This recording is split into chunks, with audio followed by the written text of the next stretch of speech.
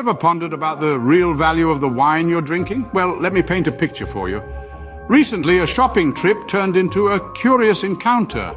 A bottle of Appassionante wine with a 4.2 rating on Vivino was discovered sitting on a supermarket shelf with a price tag of just $8. Quite the steal, right?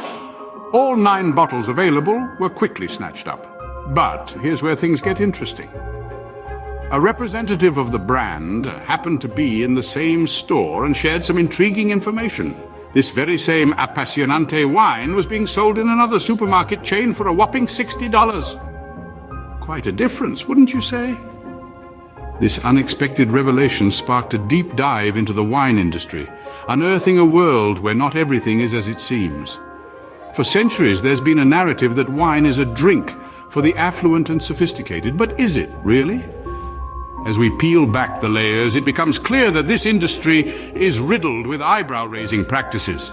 The story of the Appassionante wine is just the tip of the iceberg. Beneath the surface, there's a labyrinth of strategies and tactics designed to create a certain perception about wine. The global wine market is worth over $300 billion. With such high stakes, it's no surprise that some are willing to twist the rules to carve out a slice of this lucrative pie. But at what cost? The wine industry is not just about fermenting grapes, it's about perception. The labels, the ratings, the price tags, they're all part of a meticulously crafted marketing strategy designed to make you believe you're getting something extraordinary. But are you really? From chemical enhancements to private labeling, from manipulated ratings to ambiguous wine tasting terms, the industry has a bag of tricks that's far from empty. Even legal loopholes are exploited, allowing wines from different regions to be blended and labeled as if they're from a single prestigious location. But the question remains, how far does this deception go? If you're curious and want to learn more about the deceptive practices in the wine industry, give us a like, share our video, and don't forget to subscribe. Dive deeper into the world of wine with us. Let's uncork the truth together. Let's take a look at a notorious figure in the wine world, Rudy Kurniawan. Born in Indonesia, Rudy moved to the United States in the late 90s and quickly made a name for himself in the wine community. With a discerning palate and a seemingly limitless budget, he began collecting rare and expensive wines, eventually amassing a cellar worth millions of dollars. His reputation grew, and he started hosting extravagant tastings, sharing his coveted bottles with the elite of the wine world. People were enamored by his generosity and his extensive knowledge of wine. Rudy was living the high life, rubbing shoulders with the rich and powerful, and he became a trusted figure in the industry. But behind this facade of sophistication and wealth, a dark secret was brewing. Rudy was not just a collector of rare wines, he was also a master forger. He was buying up ordinary wines, refilling the empty bottles of high-end wines with these cheaper alternatives, and then reselling them at astronomical prices. The extent of his deception was mind-boggling. His operation was so sophisticated that he even reproduced the labels, making sure they looked aged and authentic. It's estimated that he sold tens of millions of dollars worth of these counterfeit wines, but like all great cons, Rudy's came crashing down. His deceit was eventually uncovered in a dramatic sting operation. A raid on his home revealed a counterfeiting workshop complete with thousands of wine labels, corks and bottles. The wine world was left reeling. The man they had trusted, admired and even envied was a fraud. Rudy was sentenced to 10 years in prison in 2013 for his crimes, marking the downfall of one of the most notorious figures in the wine world. His story serves as a stark reminder of the lengths some people will go to deceive others and profit from the perception of luxury and exclusivity. Rudy's tale serves as a stark reminder of how perception can be manipulated in the wine industry. We'd love to hear your thoughts on Rudy's story. Comment below and be sure to share this video with your wine-loving friends. But Rudy is just one man. What about the industry as a whole? Well, the wine industry is a complex web of practices that often seem more like sleight of hand than genuine craftsmanship. Let's peel back the labels and see what's really going on behind the scenes. For starters, a common practice in the industry is the use of chemical alterations. That's right, chemistry is not just for laboratories, but also for wineries.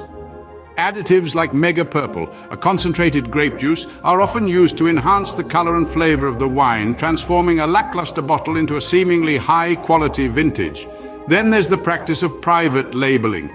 This is when the same wine is sold under different labels and at different price points. It's all about perception. If you see a wine with a fancy label and a hefty price tag, you're likely to perceive it as superior, even if it's the same as the cheaper bottle right next to it. And what about those ratings you see on wine apps? They're user-generated, which means they can be easily manipulated.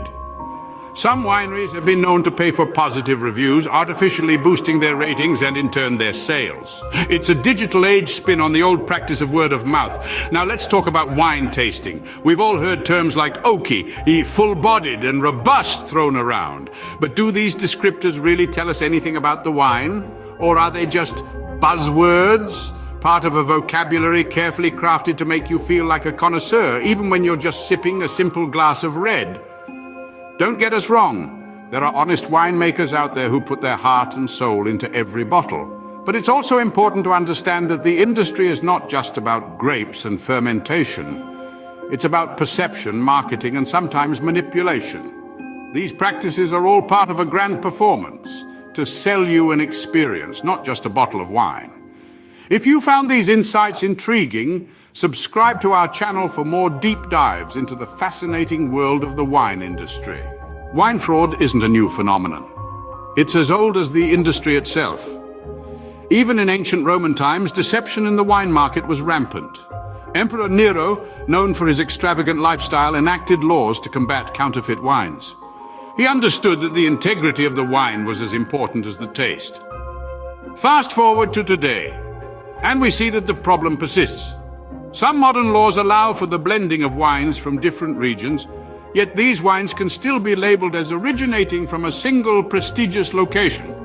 This legal loophole is just one of many that the industry exploits, contributing to the ongoing issue of wine deception.